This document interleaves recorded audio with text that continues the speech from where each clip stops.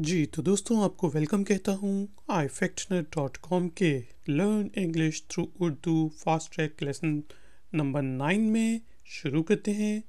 क्या आप मेरी मदद कर सकते हैं? Can you help me can you help me मेरे साथ बोलें।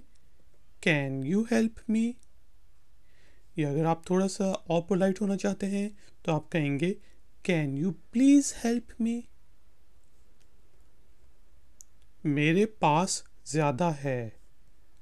I have more I have more short करके इसको हम आईव भी लिख सकते हैं।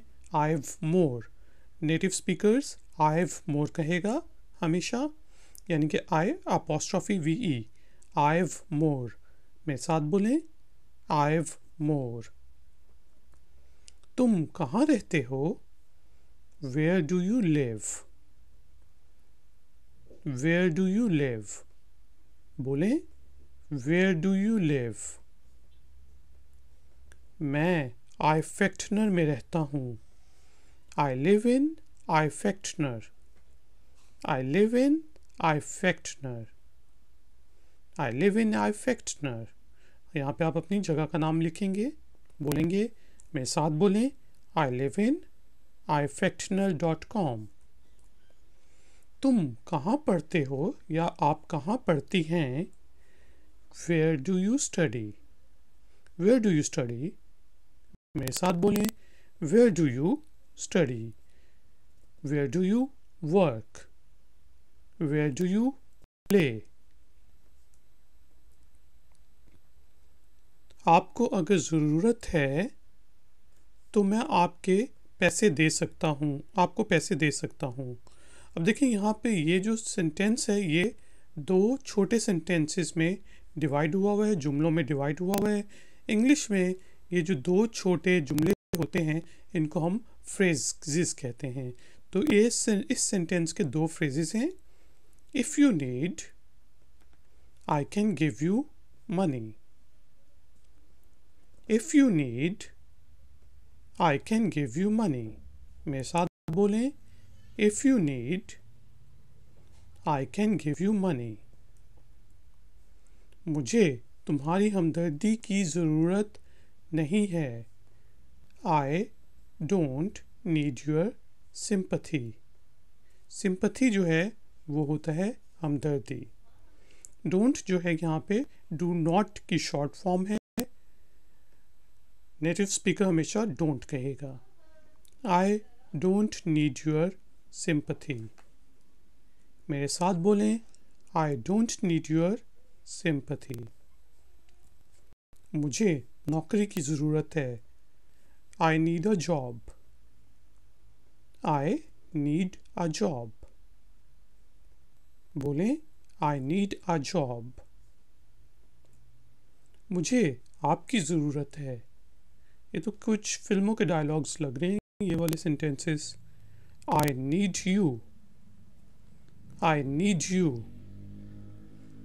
बोले आई नीड यू यहाँ पे अगर ये होता है, मुझे आप आप चाहिए, मुझे आप चाहिए तो आप कहेंगे आई वॉन्ट यू ठीक है जी? वॉन्ट और नीड में डिफरेंस होता है।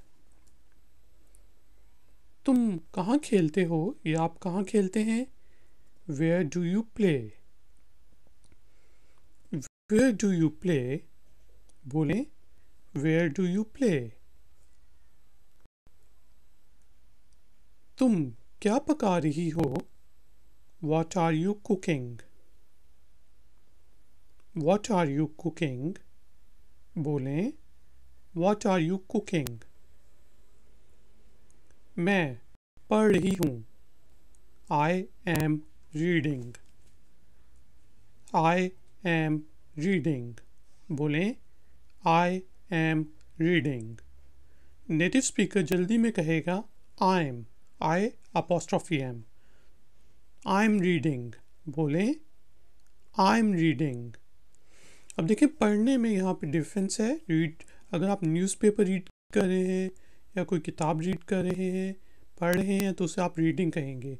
लेकिन अगर आप यूनिवर्सिटी में पढ़ रहे हैं तो वो होगा study studying I am studying in a university I am studying in a school I am studying in a college ठीक है जी?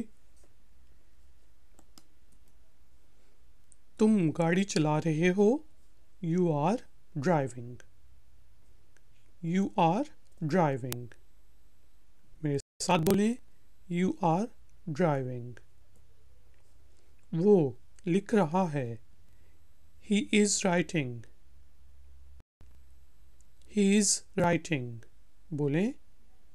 ही इज़ राइटिंग आप बोलें ही इज़ राइटिंग तो नेटिव स्पीकर कहेगा ही इज़ राइटिंग जल्दी से।